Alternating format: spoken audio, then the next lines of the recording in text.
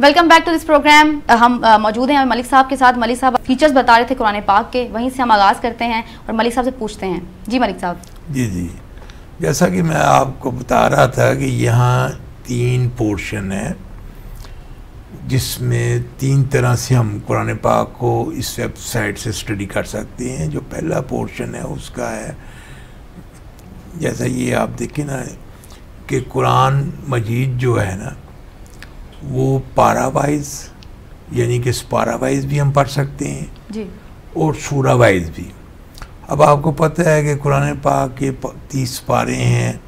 وہ ادھر نمبر اور عربی کا نام اور انگلش میں لکھا ہوا ہے۔ اسی طرح آپ کو پتہ ہے کہ ایک سو چودہ صورتیں ہیں قرآن پاک میں۔ تو یہ آپ دیکھیں کہ عربی کا نام ان صورتوں کا پھر اس کی انگلش میں لکھا ہے ساتھ یہ نمبرنگ ہے۔ تو دو طرح سے آپ ان کو دیکھ سکتے ہیں۔ اب جیسا کہ میں آپ کو دکھاتا ہوں کہ جیسے سور النساء ہے چار نمبر سورج جو ہے جی۔ اس کو میں ڈسپلے کرتا ہوں۔ تو آپ دیکھیں کہ یہاں پر پوری صورت کی ہر آیت جو ہے نا الگ الگ سے جی جی۔ مقصد یہ ہے کہ کمپیوٹرائزیشن کرنے کے لیے نا اس کے مختلف فی اس کو ڈیپلی قرآن پاک کو اسٹڈی کرنے کے لیے سرچنگ کے لیے ہر آیت کو ہم نے الگ سے ایک ریکارڈ تصور کر کے کمپیوٹرائز کرنے کے لیے نا۔ جی جی۔ تاکہ اب آپ دیکھتے ہیں کہ پہلے میں لکھا ہے پارے کا نام سورت کا نام آیت کا نمبر اس کے بعد آیت ہے پھر اس کا اردو میں ترجمہ ہے۔ جی۔ پھر انگلش میں ترجمہ ہے۔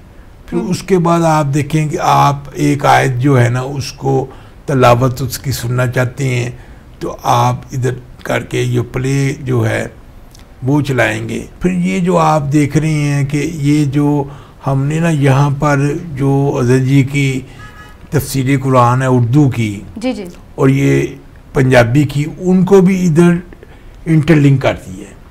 جی۔ اب جیسے کسی آیت کو آپ ادھر سے پڑھتے ہیں جی جی۔ اردو میں ترجمہ اس کا پڑھتے ہیں انگلش میں ترجمہ پڑھتے ہیں جی۔ اس کو آپ سننا چاہتے ہیں آیت کو وہ ادھر سے سن سکتے ہیں۔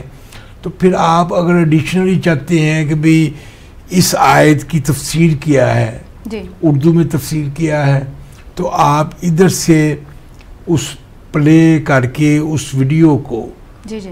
جی کا اس کے اوپر ٹاپک سن سکتے ہیں کہ اس آیت کی انہوں نے کیا تفسیر بیان کی ہے نا یا ان دو چار آیتوں کی کٹھی تفسیر کیا بیان کی ہیں۔ جی۔ اس کے بعد یہ پنجابی میں بھی آپ دیکھ سکتے ہیں۔ تو یہ تو ہو گیا کہ اس طرح سے آپ قرآن پاک کو ادھر سے اسٹڈی کر سکتے ہیں۔ اب اس میں جو دوسرا فیچر بڑا ہی ایڈوانس ہے نا وہ یہ ہے قرآن ورڈز انڈیکس جی۔ سرچنگ اس میں یہ ہے کہ یہ دیکھیں الفابیٹیکل الفابیٹ ہیں عربی کے۔ کسی بھی ایک کو آپ جیسے جیم ہے اس کو ہم انٹر کرتے ہیں۔ تو جیم کے اوپر جتنے بھی الفاظ ہیں نا قرآن پاک میں جی جی۔ جو جیم سے شروع ہو رہے ہیں وہ سارے جی۔ ڈسپلے آپ کے سامنے اسکرین پر ہو گئی ہیں۔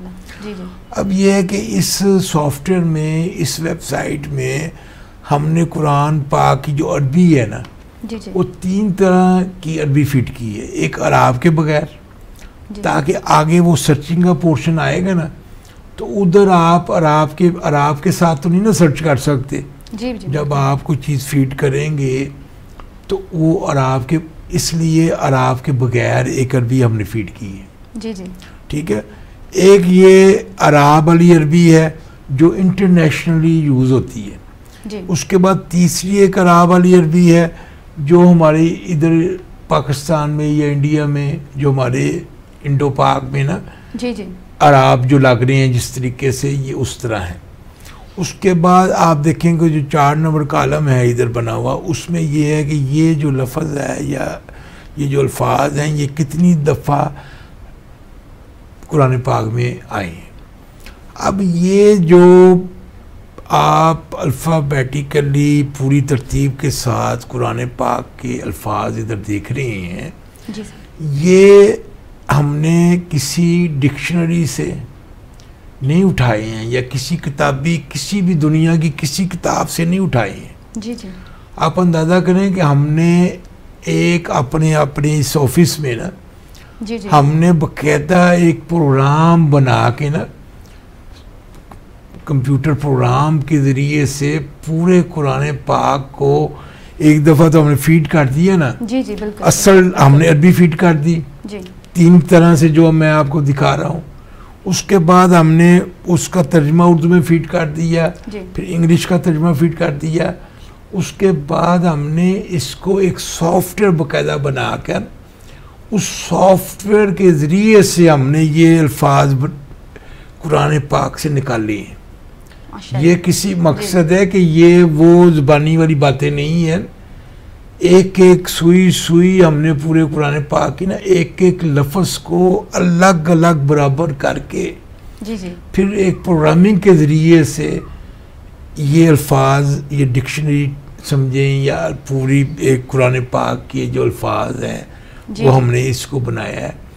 تو اس کا مقصد یہ ہے کہ تاکہ کوئی ایرر نہ ہو۔ اور یہ تین قسم کی عربی جو ہے نا یہ برابر آئی ہے۔ جی جی۔ اب آپ دیکھیں میں آپ کو ڈسپلے کرتا ہوں یہ جو پہلا یہ ہے یہ چھ دفعہ قرآن پاک میں آیا ہے۔ تو جو جس عربی پر میں کلک کروں گا نا جس سے ابھی ہم میں نے عراب کے بغیر علی عربی پر جی۔ ڈس کی ہے۔ تو اب آپ دیکھیں کہ چھ دفعہ یہ قرآن پاک میں اور ریکارڈ بھی چھ ہیں چھ آیتیں ڈسپلے ہوئی ہیں۔ اور وہ الفاظ جس کو ہم نے کلک کیا ہے آپ دیکھیں وہ ہائی لائٹ ہوا ہوا ہے۔ جی بالکل۔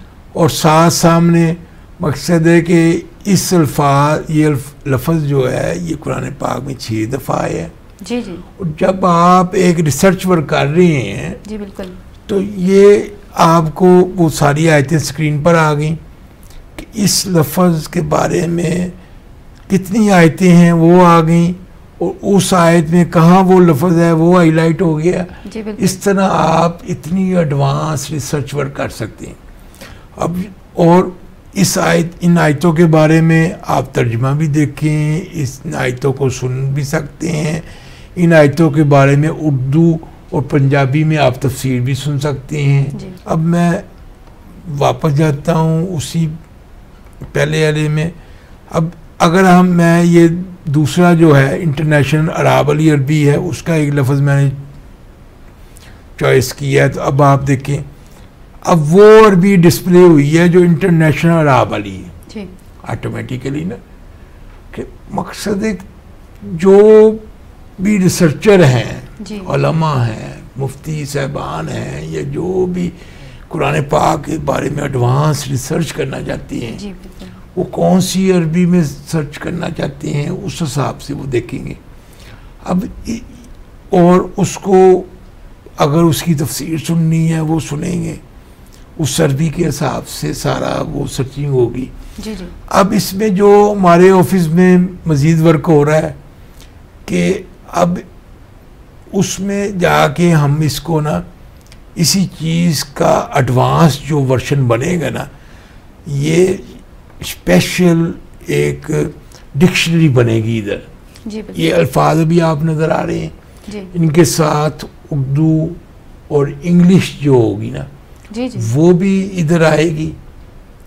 جب وہ ہم ادھر کلک کریں گے تو آٹومیٹیکلی تینوں لینگویج میں یہ سرچنگ جائے گی۔ بلکہ پانچ سرچیں کٹھی ہوں گی نا۔ جی بالکل۔ یہ مقصد ہے کہ یہ تینوں قسم کی عربی جی جی۔ وہ جو اردو کے الفاظ بنیں گے ان کے میننگ ہوں گے جی بالکل۔ یا انگلش میں ان کی میننگ ہوں گے پانچ سرچیں کٹھی جا کے قرآن پاک کو وہ سرچ کر کے لائیں۔ گے تو اس طرح سے علماء ریسرچر مفتی صاحبان جو اسلام سے محبت کرتے ہیں اسلام کو اور قرآن پاک کے جو قرآن پاک کی ملک صاحب وقت ہوتا ہے ایک بریک کا ملتے ہیں بریک کے بعد۔